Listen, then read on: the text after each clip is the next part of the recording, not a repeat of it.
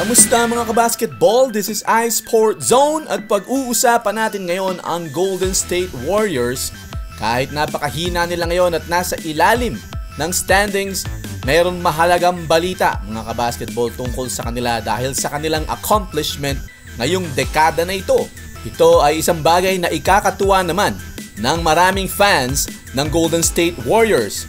Pero bago tayo magpatuloy, paalala lang sa mga first-timers at hindi pa regular sa ating channel na bisitahin lagi ang video section ng iSport Zone dahil araw-araw tayong gumagawa ng video at minsan dalawa at minsan ay tatlo pa. Kaya para hindi kayo mahuli sa mga balitang NBA at Philippine basketball, ugaliing bisitahin ang video section ng iSport Zone. Ang nangangamote na Warriors ay malayo man sa contention ngayong season, ang kanilang franchise ay gumawa ng history nitong mga nakaraang taon at nagdomina na bihira makita across all professional sports. Ngayong ilang araw na lang ang natitira sa 2019, ang Golden State Warriors ay nabigyan ng isa na namang award na maidadagdag nila sa kanilang collection, ang Team of the Decade. According sa NBA.com, The Golden State Warriors have been named Franchise of the Decade across all professional sports teams by the Sports Business Journal Daily. It was announced today. Over the last 10 years, the Warriors have demonstrated innovation, led the league and all professional sports in a variety of business categories and won three NBA championships. In addition to building and opening Chase Center, the team's new state-of-the-art arena in San Francisco's Mission Bay neighborhood. Sa loob ng sampung taon, na-transform ng ownership at management ng Warriors ang kanilang team mula sa talo-talo at medya-medya lang na season.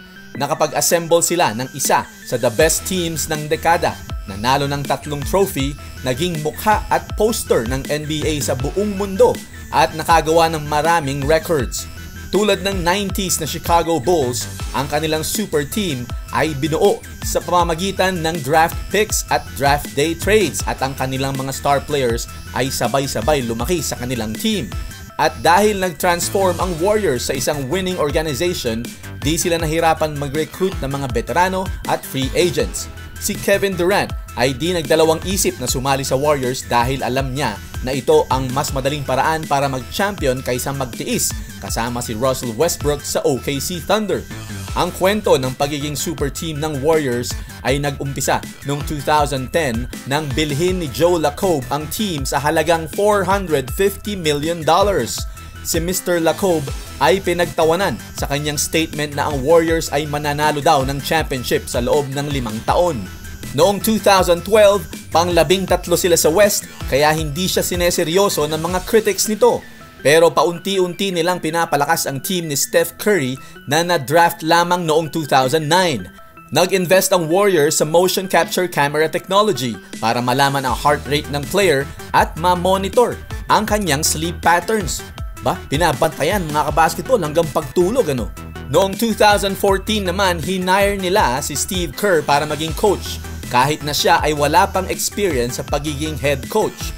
Ang experience lang ni Kerr noon ay general manager at dahil ang ownership ng Warriors ay galing sa Silicon Valley, California, sila ay highly invested sa data and analytics. Sabi ni Kerr, meron daw mga numero na automatic na nagbibigay sa kanila ng tulong sa panalo tulad na lang ng gaano karaming pasa ang dapat gawin sa isang laro ng NBA. Napansin daw nila na mas maraming pasa, mas napapagod ang depensa. At dahil sa motion capture camera, mas mabilis silang nabibilang ang mga pasa na yun.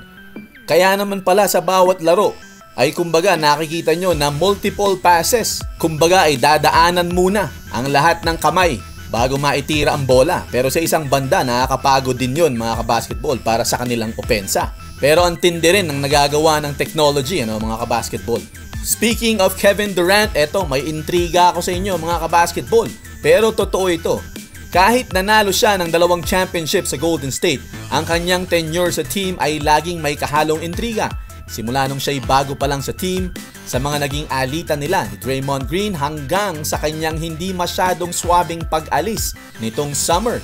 Mukhang hindi rin nakalimot ang Warriors franchise sa mga aberya na ito at nang matanggap nila ang Franchise of the Year award na ito, hindi nila sinama si Kevin Durant sa mga picture sa Twitter ng kanilang pasasalamat. May mga ilang nakahalata kaya naman sinubukan nilang ihabol ang litrato ni KD pero damage was already done. Masama na ang loob ng ilang fans ng team at fans ni KD syempre. Kahit wala na si Durant, di nila maitatanggi na malaki ang kontribusyon nito sa mga championships ng Dubs nitong nakaraang dekada. Eh baka naman nakalimutan lang nung nag-upload ng litrato sa Twitter. Pero mukhang malabo yan mga kabasketball ano? Eh ano sa tingin nyo ang nangyari dito? Nananadya ba ang Warriors organization?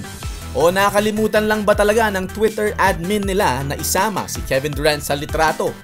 May tampo pa rin ba sila sa isa't isa? Pag-usapan natin yan sa comment section, isulat lang ang inyong mga reaction or comment sa ibaba, like or share this video, at huwag kalimutang mag-subscribe. This is Sport Zone.